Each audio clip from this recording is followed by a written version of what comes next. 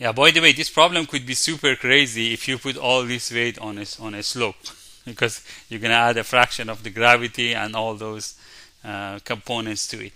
But the way it is, we can see two scenarios. So you can see.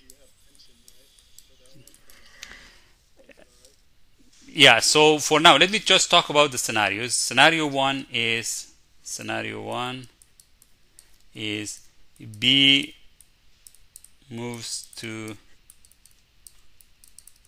the right. Scenario 2 B plus C move together to the right. So on the on the A nothing would happen, right? Because A is attached to wall. It cannot move anyway. Based on our diagram, A will not move. So let's look let's talk about scenario 1. In scenario 1, I have the B moving. So when the B moves like this, apply the force P here. I'm going to have two forces. One force from here to there and one friction here, right? Because it's moving. You have one friction up there, one friction down here. I'm going to call the friction on the top FAB. I'm going to call the friction at the bottom FBC. Every friction come with a normal force, right? And the normal force up up is always toward the object. So we come here, it comes NAB at the bottom called NBC National Broadcasting Channel what's called NBC okay so uh, we have we have NBC we have NAB you can see in this diagram we have a lot of things going on just for the block B and then I forgot one more thing on the block B you know what the weight of the block B and the weight of block B is 25 Newton so in the center for this one, I have WB which is 25 Newton. So this diagram is just for only block B. Okay, in, in block A what I have? Again, we are, still we are talking in scenario 1, right? This is block A. In block A I have one cable. Connected to here there's going to be a tension there.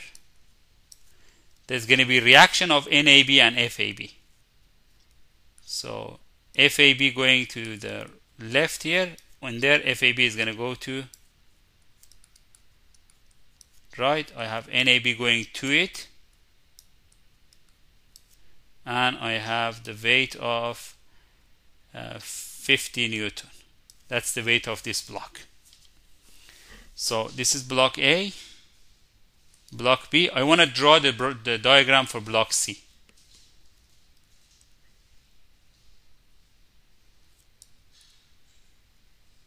Okay, in this scenario, block C will not move, right? The reason that doesn't move, it has the friction with, uh, again, I need to consider some stuff before I move on. So in this scenario, how many unknowns I have? I have uh, I have like uh, two unknowns here FAB, NAB, T. So three unknowns there with two unknowns, with three unknowns here. I have six unknowns. I wouldn't be able to solve this problem unless I get more information on it, right? So, but the, the more information I have is that FAB, if I go to maximum friction, the friction between A and B is 0.3. So I can simply call FAB. Remember that when you go to maximum friction, FAB will be equal to mu AB NAB, right? And same thing happening to FBC. FBC will be equal to mu BC NBC. So the friction between B and C, the friction between B and C is 0.4. So this is actually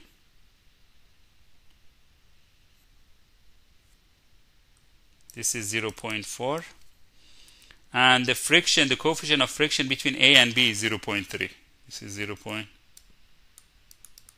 I have a good reduction in my unknowns right? So FAB I can put instead of this I can put 0.3 NAB same thing here. For FBC I can put equal to 0.4 NBC So let me count the number of unknowns one more time. So if I count the number of unknowns, I have NBC1 unknown, NAB2 unknowns, right? P and T. Do you see more unknowns in this problem or no? Because I don't need to draw a diagram for C in scenario 1. Because if I add C, the C will not move. It doesn't add any values for me. So I have like one NAB, NBC, P, and T. I have four unknowns. Remember, I have two diagrams. In each diagram, I have two equations. So I should be all set to go. So let's do scenario 1 equations on the block B. Okay, block B, sum of f of y equal to 0. I have NBC minus NAB minus 25 is equal to 0. I have sum of f of x on it equal to 0. I got p minus 0.3 NAB minus 0.4 NBC equal to 0. I'm going to move on to the block A. In block A, uh, in same equation, sum of f of y equal to 0, sum of f of x equal to 0. On the y, I got NAB minus 50 equal to 0. In this equation, give me NAB is equal to 50. Then I have 0.3 NAB minus t is equal to 0. This doesn't add any information. The question did not ask me to find the t, right? I can just simply neglect this equation. So I have NAB, I'm going to move on here to this equation. So let's move on to this equation here. So on the top, so I have NBC because I, I afraid to touch the screen because I'm going to lose the share function. So from this scenario, you will be, you will be getting NBC is equal to 50 plus 25, which will be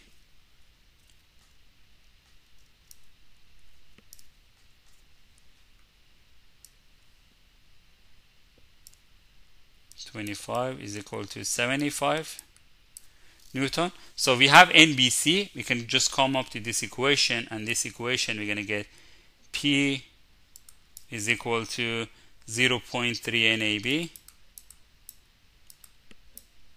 plus 0.4 NBC. So 0.3 NAB was 50 plus 0.4 into 75 is equal to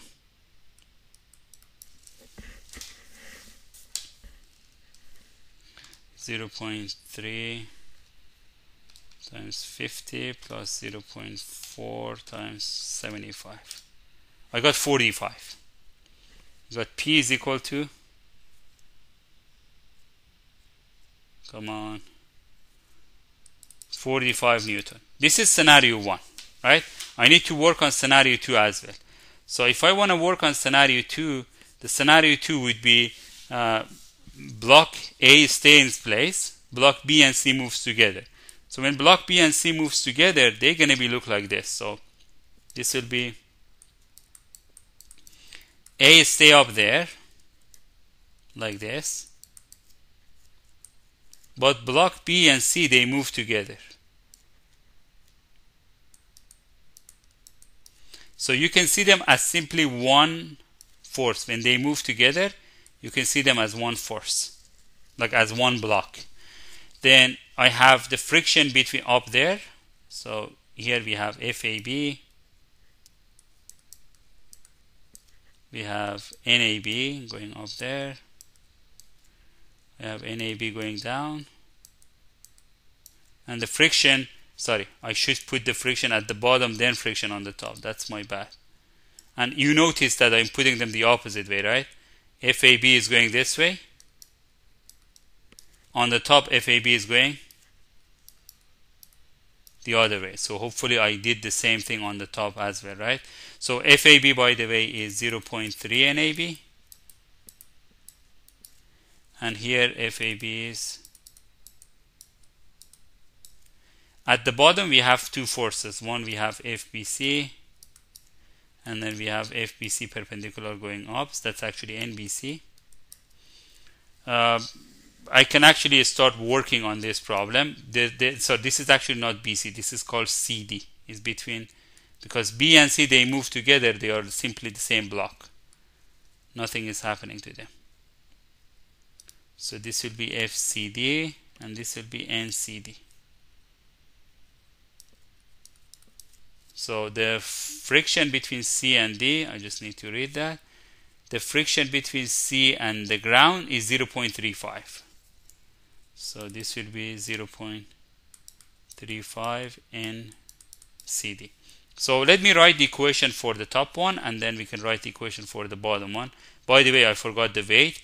The weight for the A was 50. The B and C, the weight for B and C, I need to check it. So B is 25, C is 15. So 25 plus 15 will be 40. I'm going to put the weight of 40 Newton here.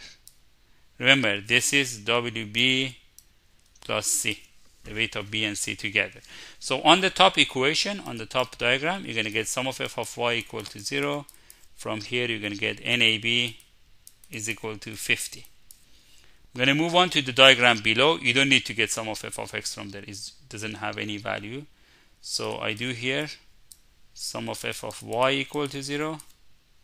I'm going to get NAB, which is moving down, minus 40 plus NCD equal to 0.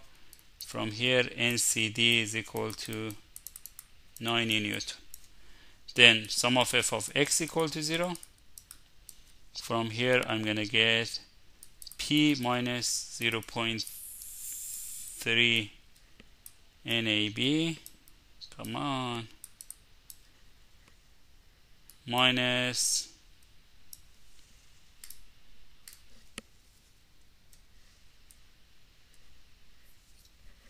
Zero point three NAB minus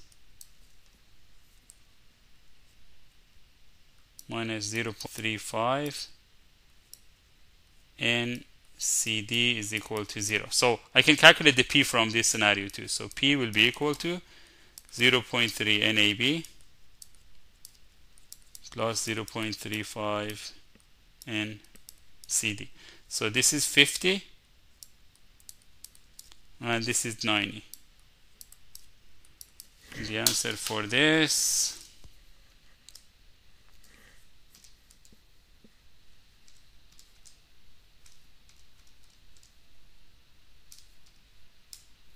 I got 460 46.5 Newton. So the P in this scenario is 46.5 Newton. The P for the top scenario was 45 Newton. Which one of them would happen? Scenario 1 or scenario 2?